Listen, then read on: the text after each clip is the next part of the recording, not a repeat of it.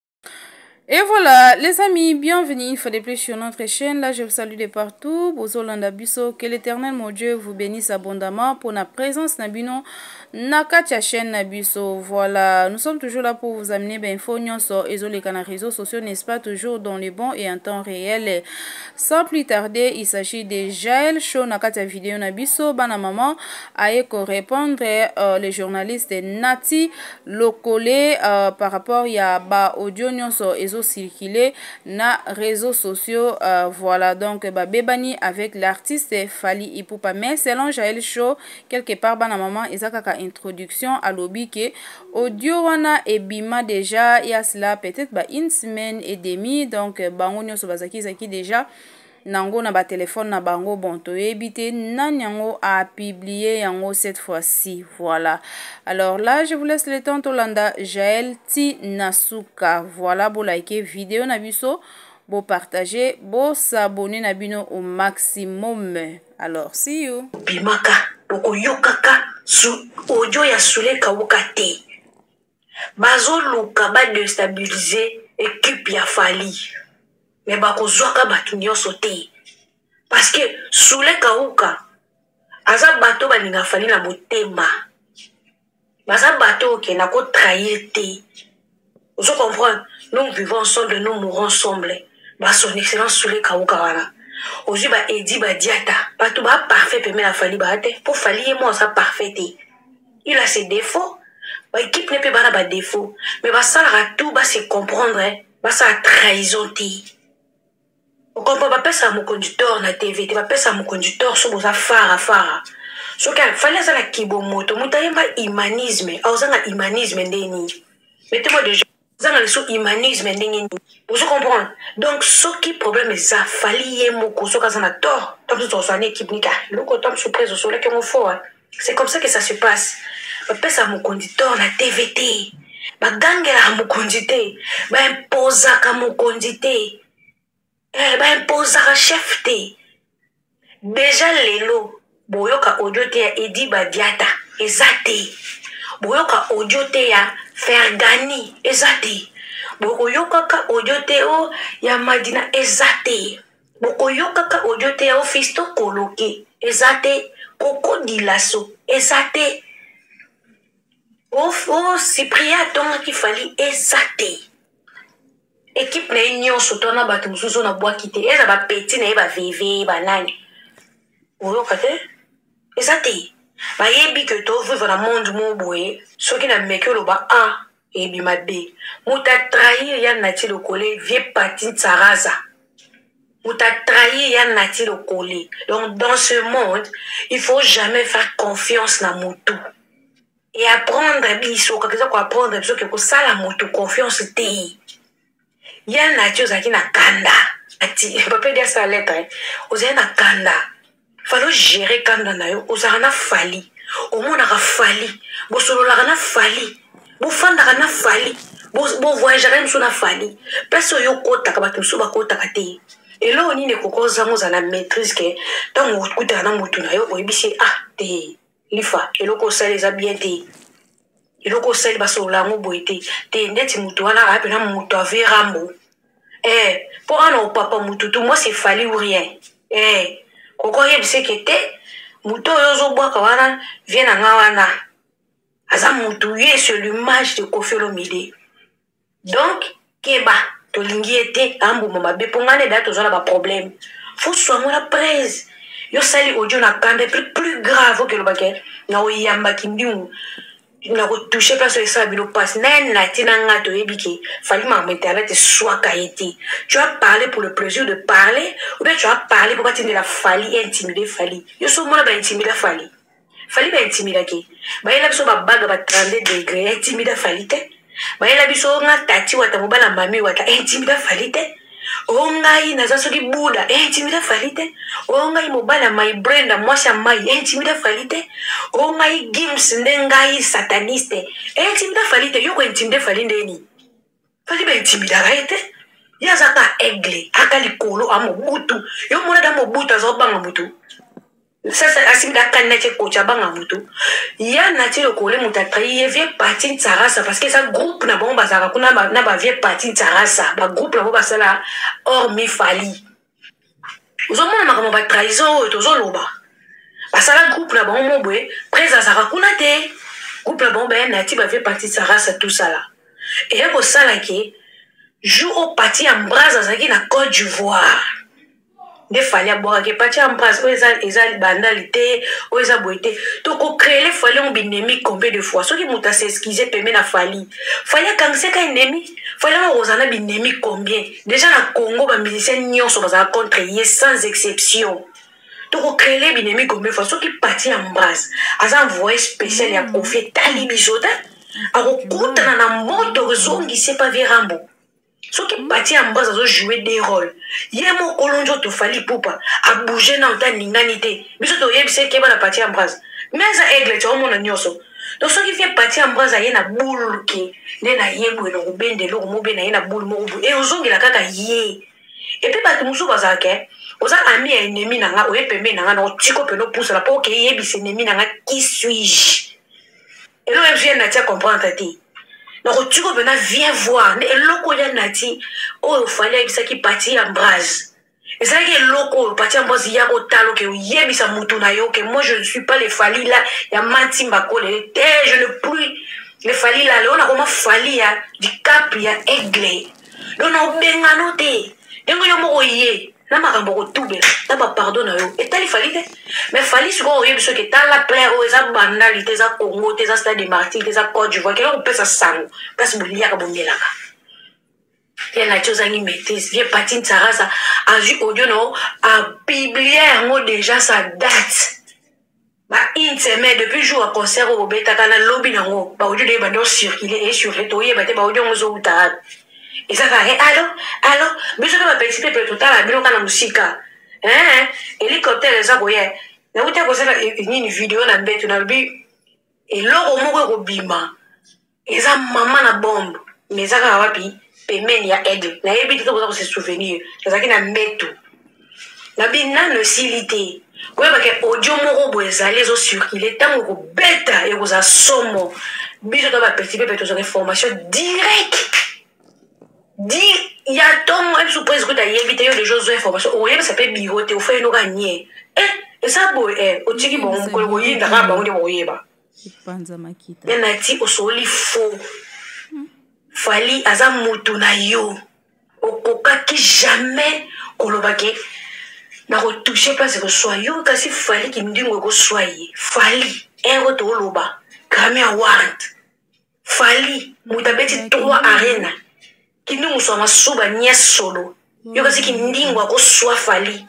ya nati obosani fali yango mpo oyambake na plateau ozomona makambo ya journaliste bazosilika ba ms wana baosala misala makasi akozwa mpe occasion atya fali micro tokozwa moto mosusu abimi ne daleneya topesi occasion atya fali micro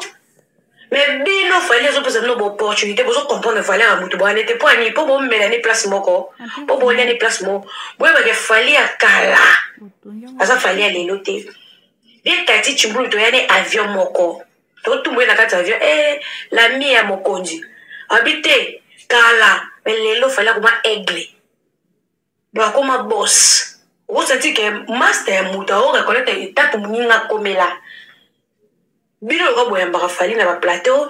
bosekaka na fali boyebi na bino so valeur nete omoni sikoyo lelo ya nati okoki oswanino na fali me bawario problème ekoma nde bawario ya nati wario aza lokola nzoi okoswanino na telefone na fali me bakolingana bango lisusu mpe lowario amonaka ke Bo me protéger Fally traitre pembe na Fally te. Ya Naty tu as mal fait. Eh, na oyamba kindingu kindingu oza nani? Bon, to tika o un mois. Sala émission na bakindingu otazo koke mosika. Ya Naty bobosana ndoki mpo na likambo moke obosani. ozobosana ke poto to mosu ya liboso ya fali moto asalaki oza na poto barelation oza nango tu as bénéficie je fali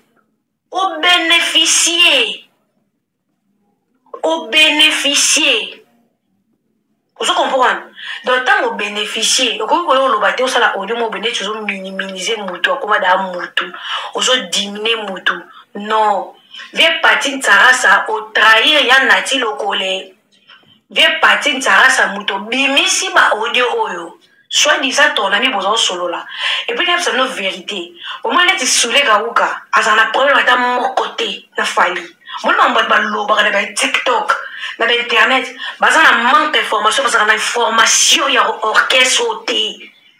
meme biso mo toza ato na information 100 pourcent ya orchestre oyo te donc makambo azoloba na tiktok sule ayoka mpasi nde fali asalela ye video te soki fali asalela kasi sule video ya campagne électorale nayebisa bino nde sule kauka azwaki te elingi alata fali mpoka fali moto asalelaki ye video omoni nde bavote te omoni ndenge azwi te elingaki lata fali lelo fali aza musicien akokota makambo eza ya politike te ndenge base comprena baza mikolo baza na sagesse baza na intelligence bayebi kosala part des choses eswana losule ye moko te parce que ayebiki place motu na nga aza une fois asali nga video ecrele nga problème na kuna ekocrele nga problème ekomake bazosoutenir ye par fali pupa werason kuta azwi te bakati ye bonso fali asalelaka sule video engelo bato kati yo mpo na fali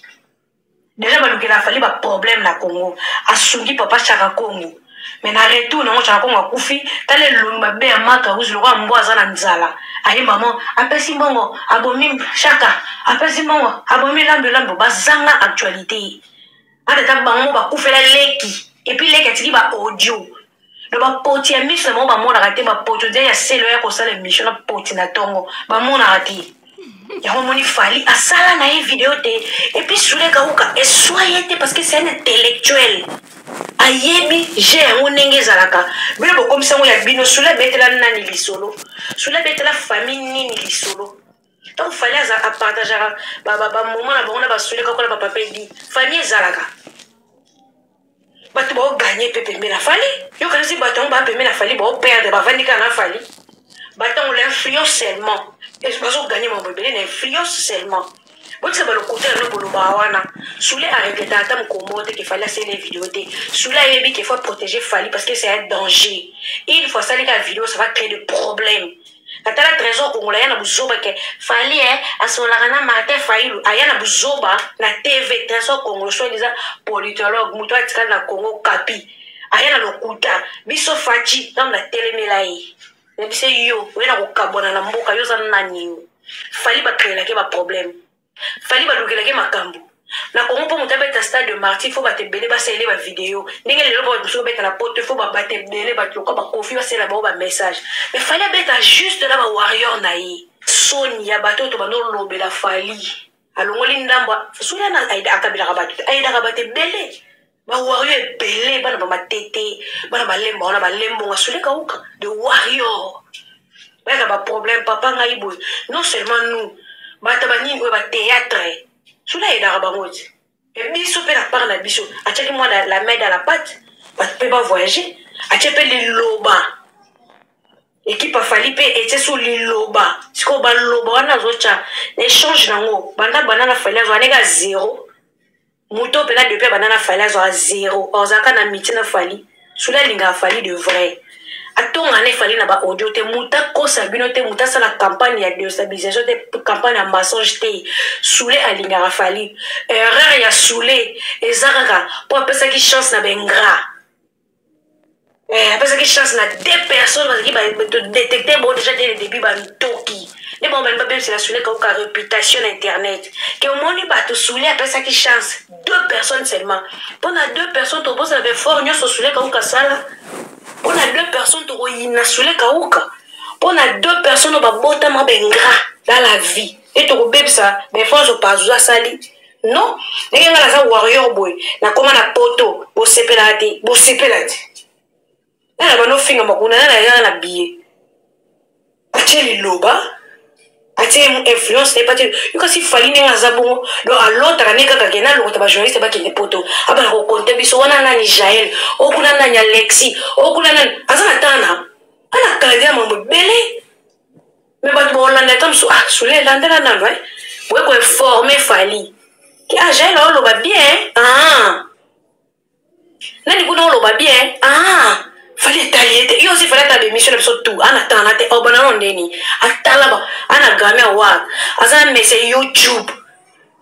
aza place oyo batye jezi bazotya jezi na tele bapona ana temps abanda otalaka jael asalaki émission moko ya bien jael akumisaki azala na ntango na te ekipe nde kuta ekotala epe ekipe etalaka nyonso te ta mosusu motu moko atalaki ayebisi ekipe ekipe batindeli bango mwa parti bataka émission mobimba ta kota ah mwana ngo osola bien atindeli ta mosusu prese mwana ngo azosola bien aza mwa malamu abeta ta tour fali alaka na ntango na te to tokobebisa baeffort ya babiro mobimba mpo na motu moko bato oyo baba ingra bakoregretaka vi na bango mobimba bato mpe badesactive bango esengaki bazwa desactivation mpo orgueil elekaki ozwa kata bango ya labai na oh, nko l'histoire de odio moto atrahi ya nati eza vie parti tsarasa moto atrahi ya nati lokole ya nati asali voice na, na kanda me na audio wana biso toza biso na problème kuna na kati te me nati baza mpe bayaye oyo atyaki mwa liloba mpe ta mosusu ah jai nango osola bien me eloko esali kaka parce que nga na ruya vi na ngai mpo na fali tetetetetete ya nati wana nde te Hmm, nana olinga nani oyo otanga bongo intellectuel makasi bongo loba français olingi obebisa vie nao mpona fali te seke y avait quelque chose de miel oyo obanda mpe kolanda ndenge bozalaka na motu moko te abebisaka vie na ye mpona fali te bobonga mpona fali biso nde toye na nsima totya mpena oyo ekoya eya eyinda biso nde bapetit peuple toye mpe poto soki biso ko bapetit peuple toye poto bongo yo ya nati olie te omeli te omoni poto combien de fois est-ce que wana visa trois mois na passeport non so ozalaki ya nati ya tele olingi ozala na visa oyo ozala nango na telefone na passeport olingi omana osala ba aller retour bongo est-ce que madame alingaka novana na poto na bana est-ce que olingi ozala na, na, na level oyo oza nango non ezo elingi eza limite mais epa fali vous gagne koloba te ke nakobebisa vi na nga mpo na fali te obebisi vi mpo na fali te tu avais le problème avec kofi olomide yango osalela émission mais na kati ya émission na bino otikala koloba komba fali na kati te ezaka baproblème que si je me trompe pas kofi ayebisaka yo okoma osalela émission lokola zamba zamba ya wera nde oboyaka osilika komona lokola ke adiminue yo c'était ça je te meme pas le nom de fali dedans parce que même pas lelo de fali dedans ezalaki que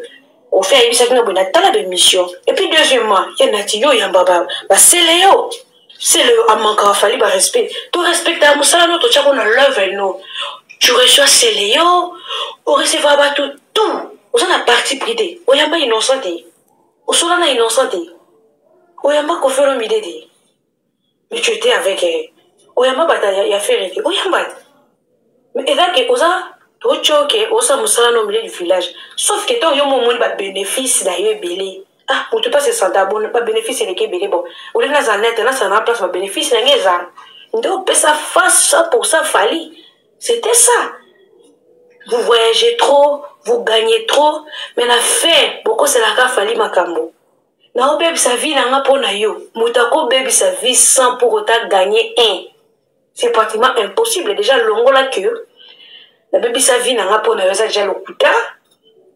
na oyambaki ndimo ça va faire mal déjà impossible parce que ngai moko attaquante nazalaka wana moto aoleka te mpo moto lokola mark aus nabeta ye 4 bord akokaa su te longola chapeau sala émission sans chapeau libandi brose minu minu pola vander de cercueil ekola ye aza zoka ngai na kingo baka uza ata asali émission gauche droite akoka su kozala ndenge azalaka te ye mama na pedula mopesi feshula na moins cher na patron na ye afandaka bien te vasco mabia na boma ye eloko wana eboma deja image na fanda amonaki na bloka ye eloko nini oyo obengela biso kindingu ya salite mwana na ya mino epola oyo koswa fali yo oyebi te kende na larme de papou shui la kindingu wana soki akoyaka poto na nsima na nga ah, ya nati ya nati ozopesa bayuma valeur oyebi te kende na larme de papou shui la kindingu wana soki akoyaka poto na nsima na nga ah, ya nati ya nati ozopesa bayuma valeur ndeni nga napekisi asolola na motu te o soki fali akangami enemi na motu aobligea biso tokangisa bato ya enemi l'ami de mon ami et mon ami le ennemi de mon ami et mon ennemi vaut mieux un ennemi qu'un traître tu ne peux pas rigoler avec moi toseki ti on mange ensemble et puis osola na ennemi na nga ça ne se passe pas so ba pêche loko ti la et puis na ba level ba fali ba komela soko so na mutu te nga ko so na mutu na te elo ni to kata mwana na parce que tout le monde cherche à déstabiliser fali yango ezalaka susu permis te que moto alobisaka fali te yo banda koseka na ye mpo akoki kozwa mpe nzela epa na yo mwana na ye mwasi azalaki bien minete nani asali yango pepete mpe ntango aye fali aza aigle amoni na moshika makambo na ebima na pwasa azoya kinshasa kata ye alabai suka ngonda ye na mobali na ye to bapopole baye nati boyi bopesaka bato raison na suka ke bozali na bino vrai te ye nati okozala vrai yango biblia elobi oyo akoyika mpiko ti na suka ye nde akota bokonzi ya nzambe okozala vrai na nyonso mobebisika na eloko mokie oyebi mpo bakata main rouge moïse eh? abeta